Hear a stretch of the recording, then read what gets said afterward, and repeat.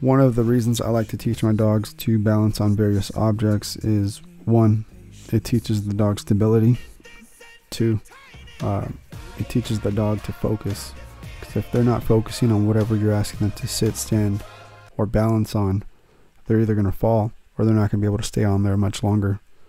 Uh, it works different muscle groups for that dog, but most importantly for me is anytime I'm asking a dog to balance on, on a new object, it's going to boost their confidence. And once they become a little bit more confident in these different objects that you're asking them to to use and train on, that you see them drastically change. They come out of their shell and become more independent.